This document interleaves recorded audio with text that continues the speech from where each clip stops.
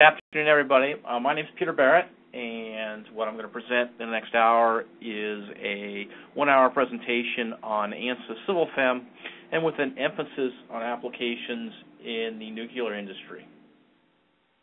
So first, for those that aren't familiar, I'll give you a little background on our company, CAE Associates, uh, talk about the Civil FEM developer, Ingeciber, and their relation with Civil FEM, and then give you a brief overview of the full capabilities of the code, and then we'll get into the details of the nuclear applications.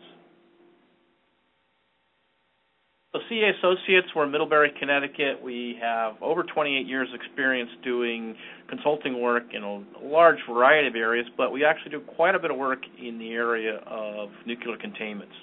Uh, we've done work for a number of the large companies in this area. Uh, we're one of the original ANSYS channel partners.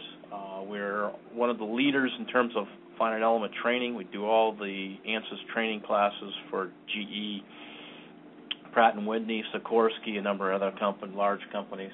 We also do a lot of work in the civil applications. Uh, we've been marketing CivilFem for about five years, but we've actually been interacting with Ingeciber, the developer, for close to 20 years.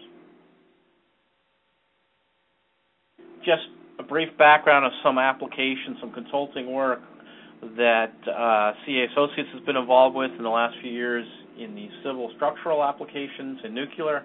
Uh, we do a lot of work for the area of concrete containments, also new generation reactors. We've been involved with the, the, the uh, helping out on the ANSYS side of uh, writing macros, uh, model generation, post-processing, convergence, uh, and a number of other items. Other other areas where we've done a lot of work, uh, probably the most uh, notable job was the structural collapse of the World Trade Center towers. Uh, we were heavily involved with teaching uh, our partners on how to use ANSYS and also providing guidance and support in that arena as well.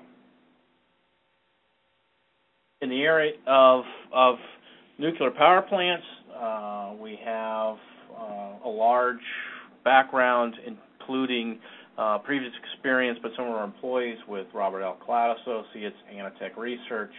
Uh, actually, I was involved with the initial uh, independent design review of the Diablo Canyon nuclear power plant uh, way back in the early 80s. Uh, recently, we've done a lot of work in the area of, of steam generator replacement, um, cask drop, uh, airplane impact, missile impact, uh, model generation, thermal stress applications, for instance, for a loss of coolant accident, uh, scripting. Uh, we've also written some macros to optimize the uh, definition of material properties, and done recently some full-time history earthquake simulations. In regards to CivilFem, uh, this is one of an ongoing series of webinars that we've been presenting. We also provide training, uh, mentoring, uh, basically any kind of help getting you up to speed in your ANSYS and CivilFem applications. So what is CivilFem? So CivilFem is a pre and post-processing and also solution module that integrates into the ANSYS mechanical finite element product. I Actually, can also interface into structural, but it interfaces into ANSYS. It uses the strengths of ANSYS uh, in terms of solver, in terms of nonlinear analysis capabilities, and integrates the strength of CivilFem, which is in the area of automatic model generation, in the areas of material libraries, in the areas of code checking. Um, and so the integrated product provides a very robust, very strong product to analyze all kinds of different uh, civil engineering applications, and in particular, uh, what we're going to emphasize here, of course, is on the nuclear side. So who is Ingeciber? Ingeciber is the developer of CivilFem. They are also an ANSYS channel partner. In fact, one of the original channel partners. Uh, Miguel Angel, the president of, of CivilFem, actually used to work for Westinghouse back when John Swanson was working for Westinghouse. Uh, so they have a long-term relationship both in the ANSYS world but also in the nuclear engineering world as well. Uh, Ingeciber has recently uh, passed a internal audit by Westinghouse. They've been approved by Areva in terms of QA. Uh, they are also ISO 9001 certified. So they have a very strong reputation not only in their capabilities but also in the QA environment, which is critical to the nuclear uh, engineering applications. So ANSYS and combined with CivilFem, both products follow a similar trend in terms of the QA. Both are ISO 9000. Both satisfy all of the NRC regulations. Uh, follows a similar procedure to ANSYS in terms of tracking uh, issues if there are problems or errors that are found in the code. And they are critical errors such that the error itself is not necessarily obvious, then these get reported uh, as class 3 errors. Uh, you get a class 3 error report similar to what you get with ANSYS. Uh, just showed an example one on the bottom of the page. Applications for CivilFem, uh, just very briefly before we get into the details of the nuclear applications, can uh, encompass a wide variety of industries uh, in the area of offshore, uh, in the area of dams, uh, tunneling, bridges, windmills, stadiums, uh, a large variety of different applications. Uh, again, the ability to automate the process in terms of model generation and code checking is something that gives CivilFem a competitive advantage, especially linked to your ANSYS uh, product if you are a current ANSYS customer. I'm sure everybody's familiar with ANSYS, but just some a little bit of uh, tidbits of information. It's the world's largest simulation community. Uh, in addition to the ANSYS mechanical side, uh, now CFD capabilities are available with the acquisition of Fluent. ANSYS already had CFX internally, so now uh, combining those two very strong capabilities in terms of fluid structure interaction, and that's another application that can be used in conjunction with ANSYS and CivilFem. You can use CivilFem for model generation uh, that can be integrated into that type of simulation. So what are the strengths of ANSYS? The strengths of ANSYS include its nonlinear material capabilities, its ability for scalable size problems, multiple solvers, uh, very large memory requirements, iterative solvers, uh, a very large material library uh, in terms of capabilities such as creep, plasticity, uh, hyperelasticity, uh, the ability for element birth and death to simulate a construction sequence, the ability for ANSYS to uh, select from over 200 element types. And the strength of CivilFem is that you can use any ANSYS capability in a model where you're also including CivilFem you may or may not use the specific ANSYS element type in conjunction with the CivilFem application, that's totally fine. You can have elements that, that aren't associated with code checking integrated with a model with elements that are associated with code checking, and you would just simply would perform the code checking on those elements where you've specified CivilFem type prop- properties.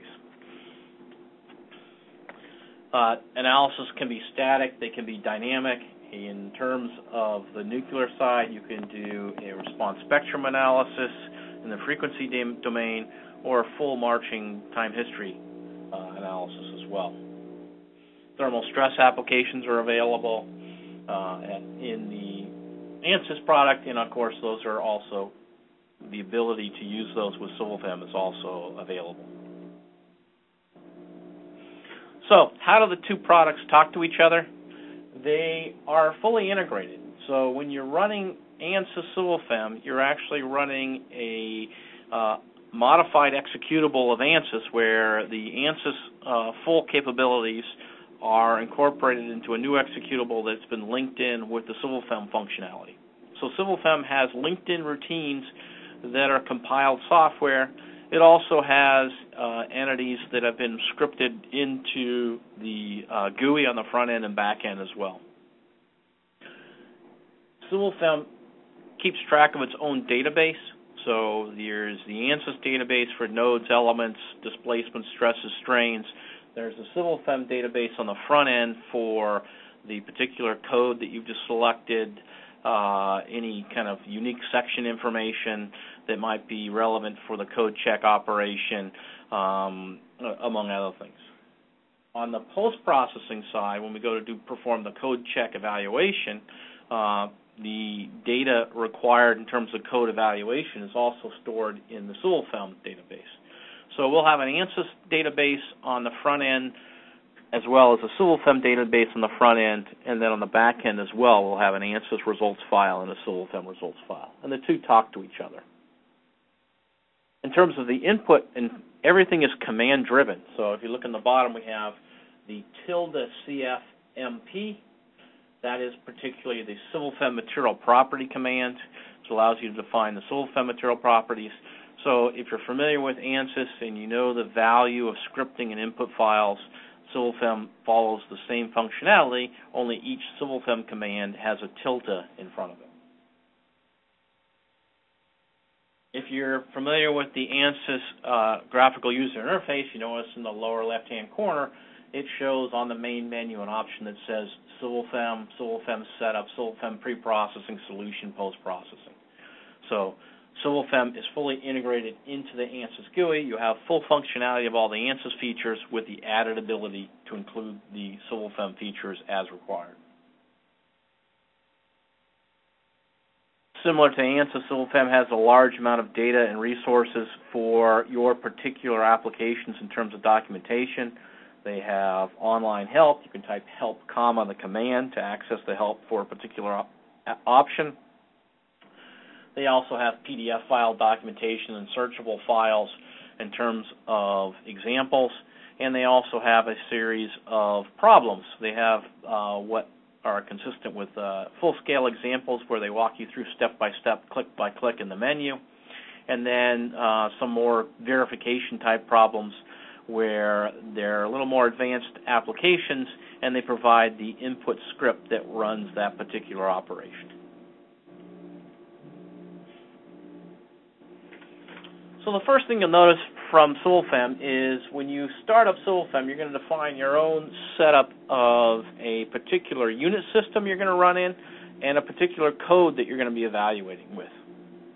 Uh, not a requirement, but but usually that's the first step. So once you set up and decide you're going to use, for instance, uh, if we're doing in the nuclear ACI 349, uh, we specify that as our uh, code check maybe specify English units for the unit system.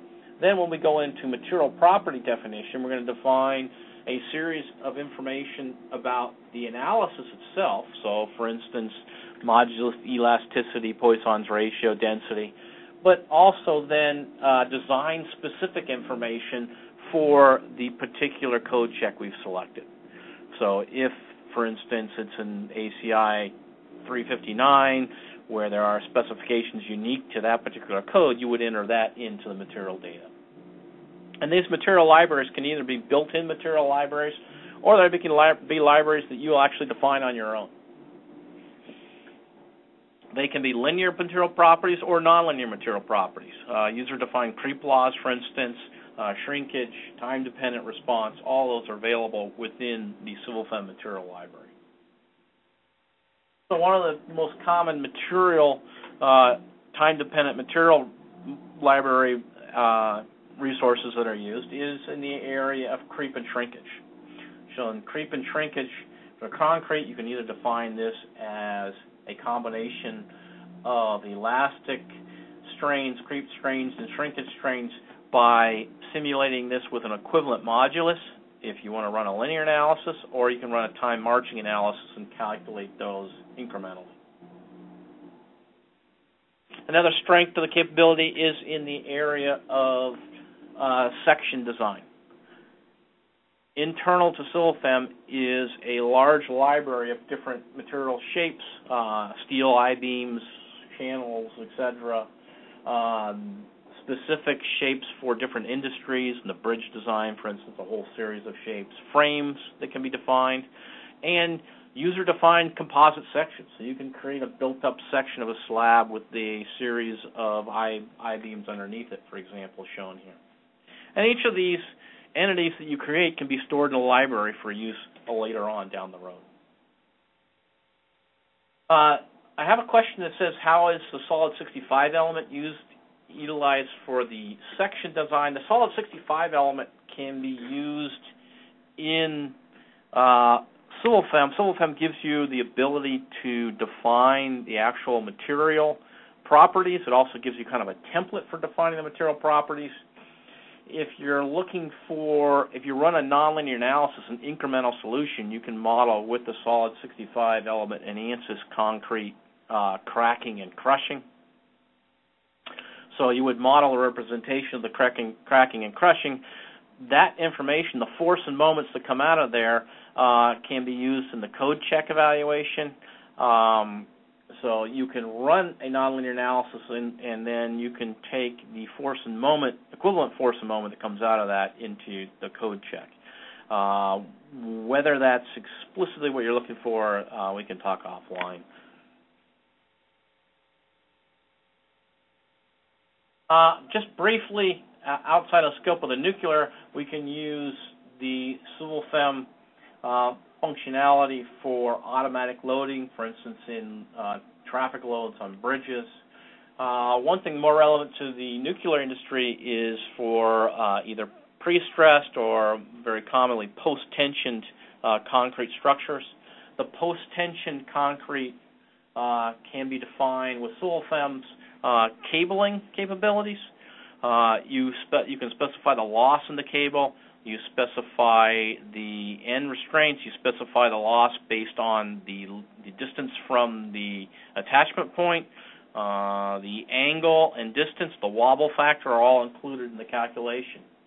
And one of the beauties is the layout of the cables doesn't have to align with the finite element mesh. So for very complex structures, you lay out a cable system uh, Civil-Fem will take those cable loads and interpolate them onto the closest elements and apply an equivalent force uh, such that you create the loading from the post-tension cables without having to have the finite element mesh explicitly line up with the cable paths. Uh, we'll get into a little more detail on the code checking capabilities as we go along, but this is just showing a couple examples, showing B-moment diagrams, showing a interaction diagram that can be created, as well as load combinations. Other capabilities in Civil-Fem include the ability to model uh, incremental construction. Uh, a couple examples here showing a bridge and tunneling, but that can be applied to any any uh, uh application. Can be applied to the um, in the area of a construction season for for a nuclear containment building, for example. Seismic analysis capabilities, uh, response spectrum, and uh, pushover simulations, as well as full-time history capabilities. All of these are accessible in ANSYS, but Civil-Fem aids in terms of the front end and back end in terms of setting up these models and post-processing. I mentioned the ability for tunnels, ability for bridge design, and these I'm going to just skip over quickly. In the other webinars where we talk about bridge, obviously we spend a lot of time talking about all of the feature functionalities in this module. One of the other strengths of Civil-Fem is the geotechnical material library. Uh, there's a whole series of materials available. You can define uh, the material properties in terms of analogies, analogous such as a standard penetration test and have it internally compute a structural properties for analysis. Uh, you can have nonlinear materials. You can uh, uh, develop failure uh, based on various uh, different um, formula in terms of like rock failure or soil um, cohesion inputs. So there's a whole series of capabilities in the front end in terms of geotechnical modeling, modeling piles, modeling um, uh, a foundation excavation sequence using birth and death capabilities as well. So in the nuclear power uh, module, uh, we get the capability of, in addition to all of the general features of Civil-Fem, we also get the capability for uh, doing code checks with some of the uh, specific nuclear codes, as well as the full quality assurance package. Uh, applications in terms of uh, some more details on the uh, capabilities in the nuclear field. Uh, what I want to talk about a little bit is um, how do we go about code checking 3D models, uh, especially very large models. One approach is using a submodeling approach. Uh, how do we take data from 3D uh, continuum elements and turn this into something we can uh, perform code checking on in terms of a, an entire wall or entire surface. Uh, we can use what's called the solid to shell processing, um, as well as some of the post-processing. And then I have a couple example problems demonstrating the use of CivilFem with the ACI 349, 359, and the steel check as well. So what is submodeling? Submodeling is we're going to complete, create a totally independent model, but it's going to sit in the same location in global space. And we're going to assume St. Venant's principle so that where we take this cut, this boundary is far enough away from the uh, critical areas. And we're going to map from the global model uh, displacements and uh, possibly temperatures such that we can compute a local response. Uh, there's an example shown in the lower right-hand corner showing the opening of the containment building where the uh, geometry paths of the tendons that go around the opening are very complicated, not uh, advantageous to a full 3D model of the entire building. But with a su- submodel, we can capture the local detailed response by modeling this local region. Uh, we can use a tetrahedron-based mesh and uh, capture the local response around the opening. Another example here is a large scale model of an entire uh, nuclear island. Uh, from this, we can pull out displacement response at particular regions. Uh, those particular regions or floors, uh, then we can take and create a refined model of that area and then map the displacements from the global model onto the local model. Now with the local model, now we can capture much higher resolution in terms of the uh, local stress response, and we can perform our detailed code check or code design evaluation at this point. So if we looked at kind of a general procedure, the global model could be run in ANSYS and wouldn't necessarily even have to have CivilFem active. We can build a local model we specify our unit systems, our code checking, material input, um, build the geometry or import the geometry from the global model, apply all the global loads and local loads, and then post-process, we run the simulation of just the local region, post-process with uh, CivilFem and or ANSYS. So we can look at some results in just in ANSYS, we can look at some results in CivilFem. for 3D solid models. So we have a brick finite element model, and we want to do a code check evaluation with that. And this is something we could use on the really any element type, so we could actually use this on the solid 65 elements as well. Uh, the 3D model is going to include a uh, finite element mesh that could be a tapered section, it could be meshed with all tetrahedron elements. We're going to take that and create an equivalent plane where we can then impose our code checking feature functionality. Uh, option B is capturing a 3D section where we can take a, a, slice through our model at any point and pull onto that slice. We can look at the displacement stresses, strains in the concrete, as well as if it's a composite section, we can look at the results in the rebar as well. So if we look at the solid shell mapping, uh, the way this works is allows us to take a 3D model and map, create an equivalent shell with an equivalent force and moment distribution in that shell. So the 3D model is taken as input. We select the, uh, using select logic and ANSYS, the group of elements that make up the solid, the group of nodes that make up the top surface, and uh, CivilFem will automatically create the mid-plane surface as well as the equivalent thicknesses. So it'll turn this model, which is a global 3D solid model, into a shell finite element model. If we turn on the shapes of the shell element, we see that we have captured correctly the various different thicknesses. Now that we have the equivalent shell model, now we can take advantage of all of the internal code checking capabilities within CivilFEM. So the shell element model is created at that midplane.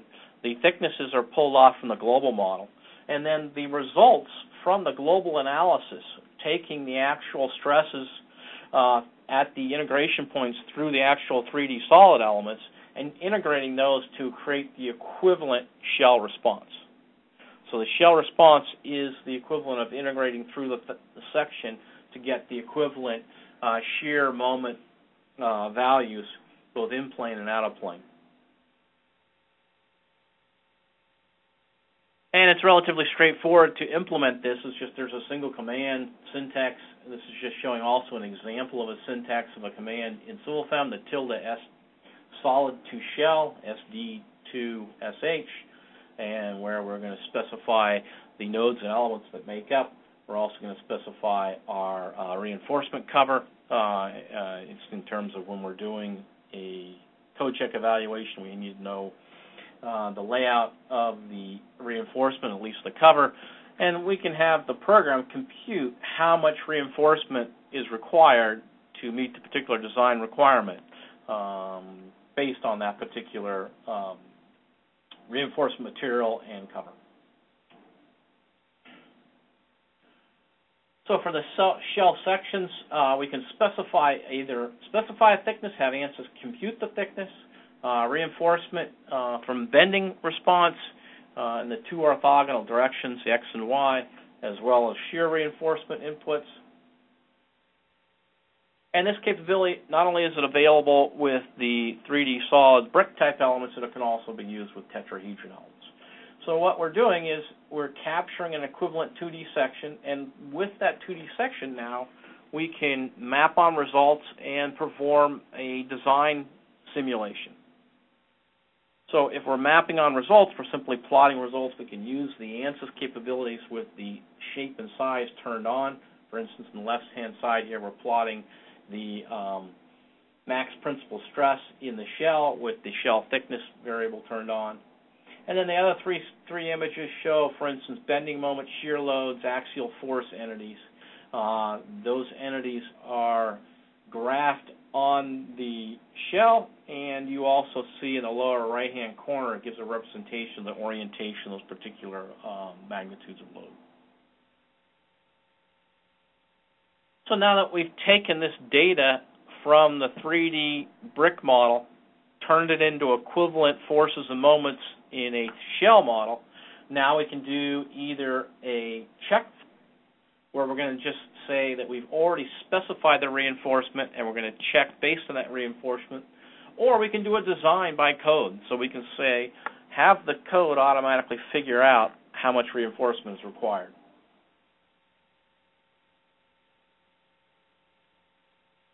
So as an input parameter, the user can specify either a um, a average amount of um, reinforcement, or you can specify it in details. And again, we can specify the, the bending reinforcement and shear reinforcement. And all the things you see here that are GUI driven are also driven by commands. So where it may make sense to do small models interactively for large models, you do them in batch mode. You can take advantage of the ANSYS scripting, so you can create do loops if then else.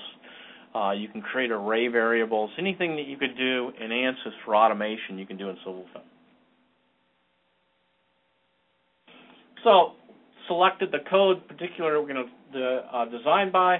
Here now, this example here, we're showing where their reinforcement uh, is uh, the amount of reinforcement for unit length is defined in the x direction and y direction. Um, one for the bottom face, both of these are for the bottom face of that particular slab.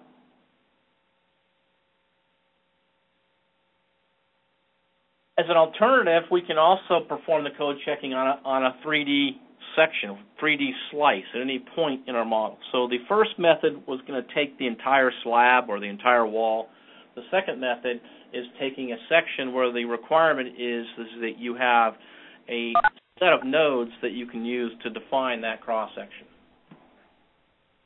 So if we have a set of nodes that define the cross section, we will then specify that section of nodes uh, will, will based on the section or subgrid of no, uh, nodes and the elements on one side, CivilFEM will determine the section properties, and it can take the results from the global analysis at that section and interpolate and calculate the local stress distribution, forces, and moments on that particular section.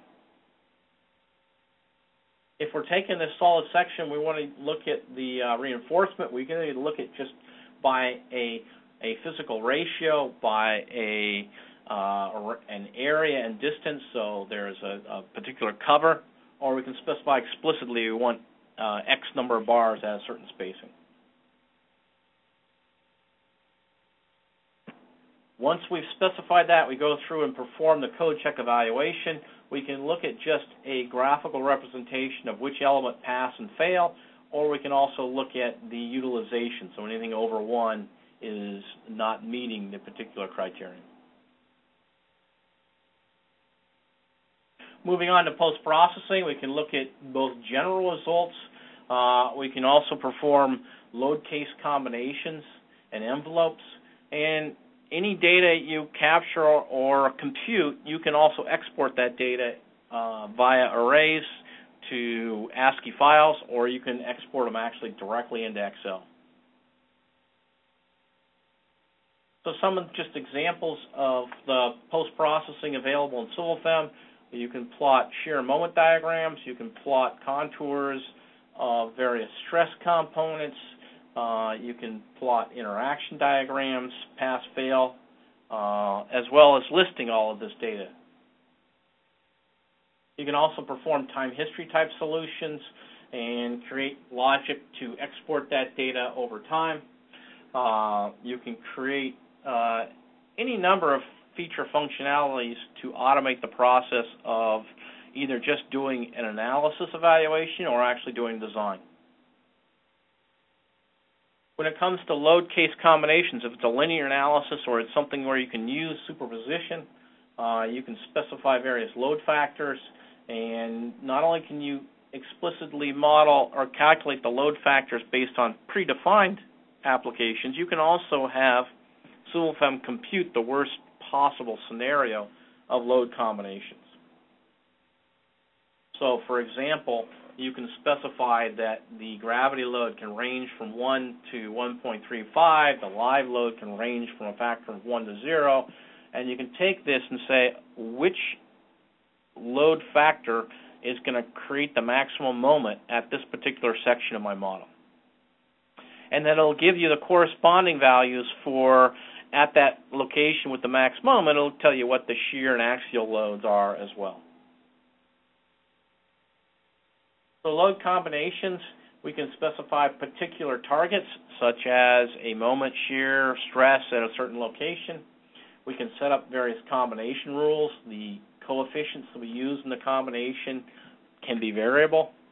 We can say that some of these constants are fixed. Maybe the dead load coefficient is fixed, but some of the live load coefficients are variable. And this is a very strong capability. Uh, it's used a lot in the area of uh, bridge design, looking at the variations in all the different vehicle load combinations. But it could also, the same procedure could be applied to any uh, application, including uh, various parts of the nuclear power plant. There is a wizard, a load combination window where you can drag and drop your combinations, or again, you can write them with scripted input files. Code checking capabilities, talked a little about the ACI codes in terms of the nuclear, which is really the emphasis of this particular webinar. But of course, there are a large variety of different codes available within CivilFEM, uh, basically all over the world. When we go to the point of the design operations, we really have two two choices. We can perform a code checking where we're specified reinforcement, or we can do a code design where it's going to calculate the amount of reinforcement required to meet as close as possible a safety factor of 1.0. for these particular design operations, we can either perform these on beam element results, and the beam element results could also be, for instance, a slice or 3D section, or shell element results, where the shell element results can also be a 3D model where we created the equivalent shell. The code checking is a combination of extracting data from the ANSYS database as well as the CivilFem database, the ANSYS results file as well as the CivilFem results file, and these particular operations can be performed, again, interactively or in a batch mode. The envelopes look at a subset of data, uh, basically a homogeneous uh, code check capability in a particular application of interest, for instance, maximizing uh, the moment or stress. Uh, and so we can look at uh, taking that data, doing an envelope operation, find the worst case scenario for that particular load combination. So I've mentioned this before. There's an example of taking the scripting capability within CivilFem and leveraging that uh, in as well as the ANSYS scripting. So in this particular option, we have there's a tilde CF get, which allows us to extract a whole array of information. So if we're in this particular example, we're looking at the uh, reinforcement in the x direction, we can pull this data and write a little script that'll uh, export the data directly and take that data directly into Excel. ACI 349 um, and all the code check have specific particular requirements. Uh, those input requirements are specified uh, up front uh, in the material information, and then the particular requirements on the code check, for instance, the um, in this case the scaling factor and load factor is a function of the amount of strain in the steel, and those can be are automatically evaluated by uh, CivilFem. So the material input, again, I showed some examples of this. I'm going to skip through this. And this is just showing that the strength reduction factor uh, is calculated based on the strain in the rebar automatically by CivilFem. And the corresponding shear moment or axial force and moment diagram. Uh, and from this, we compute where we're at relative to the uh, strength of the section and also, we look at the relative ratio of where we are, and there's we can compute our safety factor or utilization. So we're at 0.82 utilization in this example. Shear and torsion response uh, also can be evaluated based on the ACI 349 uh, code requirements. Uh, if you go into help in CivilFem, there's details on each of the different codes that are available and the particular uh, code equations that are evaluated by Civil CivilFem. So, in the remaining uh, 20 minutes or so, uh, I have a couple example problems. Here is a slab uh, with a series of steel beams around the outside and several columns. If I'm going to run a code check evaluation of this particular example using ACI 349, the first step is to specify the unit system that I'm going to run in. So in the unit system, I'm going to specify, in this case, this is meters, seconds, and kilonewtons. Select the particular code that I'm going to use to evaluate. Uh, and all of these options are uh, available directly in the CivilFem input script. So in this case, I'm looking at ASME uh, for the steel, ACI for reinforced concrete, ACI 359 for pre-stress, and if I was doing a seismic evaluation, in this case, Caltrans. So they don't necessarily, can be mix and match in terms of which codes you select. Next step is define material properties. Material properties for the concrete, for the rebar, and for the um, for the general steel beams, and also for the reinforcement. So you notice that the material library here has an option for concrete, steel, and reinforcement. Define the section properties along with the reinforcement and their cover, and so on.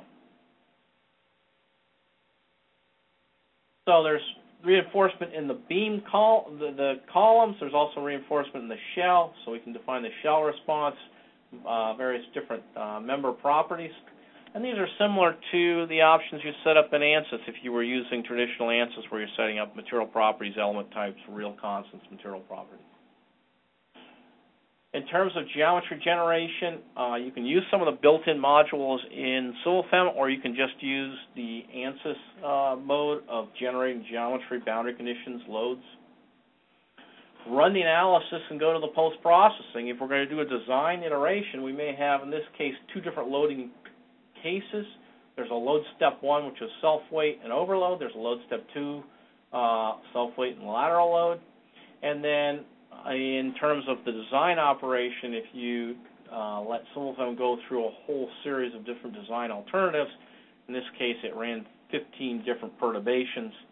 From that, figured out which particular scenario is the worst case scenario for uh, whatever particular application I was trying to, to compute for this example. Here's, here's some response to some results showing the axial forces in the members uh, under the overload here's an example where we can take a section view and pull off the forces and moments of the entire section, as well as we can plot the stresses both in the rebar, the steel, and also in the concrete. And that's just an example of some of the post-processing include the, the design uh, operation where the design matches the amount of rebar and sets it equal to 1.0 in terms of the uh, meeting the design requirement for the slab in this case for the uh, X direction um, reinforcement on the lower portion of the slab. That is just an interaction diagram example as well. For the pre-stressed concrete code check evaluation, uh, the ASME uh, code section 3 division 2 or ACI 359 as it's sometimes referred to.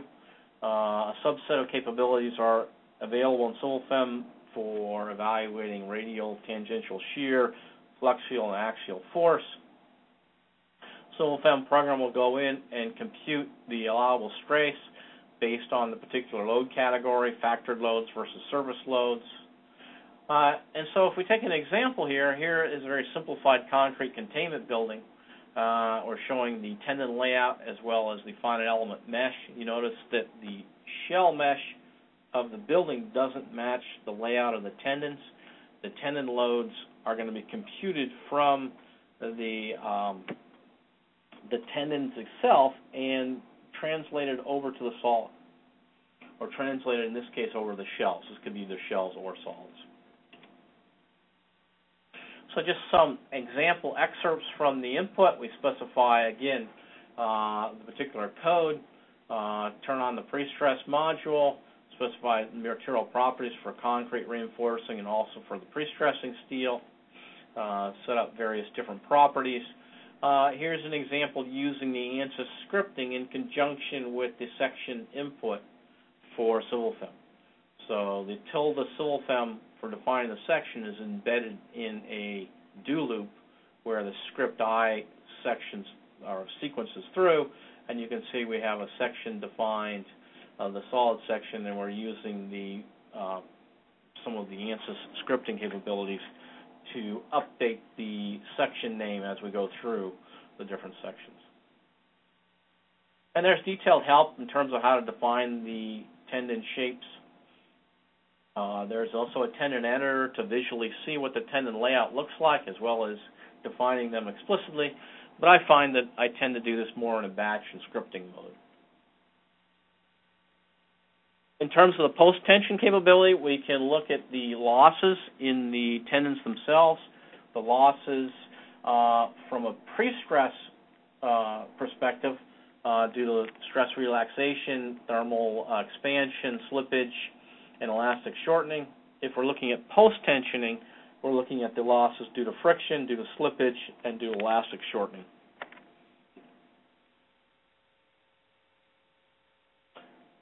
And it's just showing an example of one of the commands within CivilFem and documentation. This, in this case, this PCTNDEF is for defining and inserting a tendon.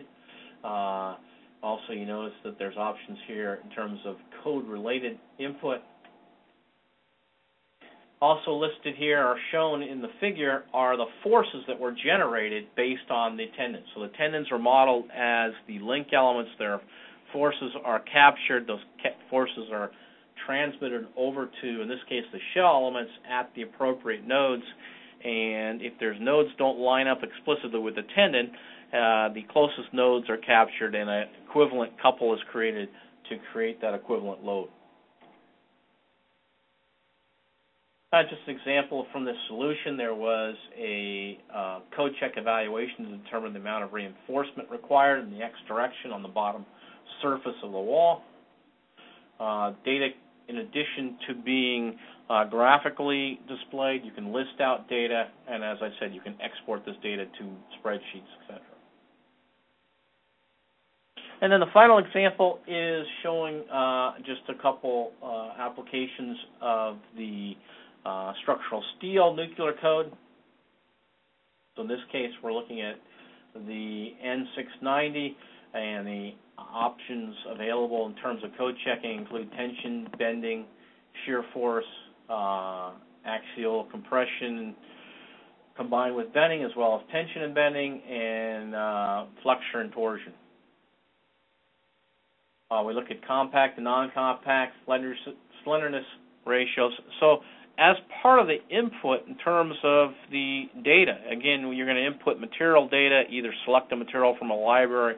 You're going to also specify code-specific data, and that would be, for instance, the, the uh, for a buckling type evaluation, you would specify the unsupported length. So, the if it's a direct code check evaluation, we're going to specify the code utilization. So we're going to go through, define the computed stress based on the design stress, and give you a utilization uh, based on those. So we take a simple example here, uh, a truss, load in the middle, support on the two ends. If we run through this, uh, in particular, a uh, that loading case, uh, we can pull off for each particular member its forces and shears and bending. We can perform a uh, classification in terms of is compact or non-compact sections.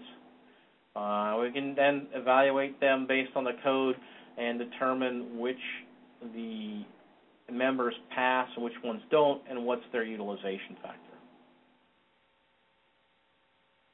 And finally, uh, just for your own reference, uh, as part of what we did on the World Trade Center application, we do have available, um, basically on a on a model by model basis, the ability to convert finite element models uh, developed in SAP into ANSYS. If you have any models you would like to try that out on, we'd be more than happy to do that. And this concludes this webinar. This is one of a series of webinars uh, that we've been doing on ANSYS CivilFem.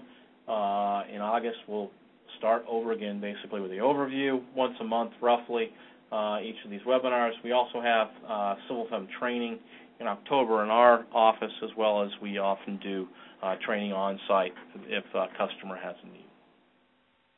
So I'm going to have Christina open up the phone lines if anybody has any particular questions or if anybody wants to ask any questions in the chat.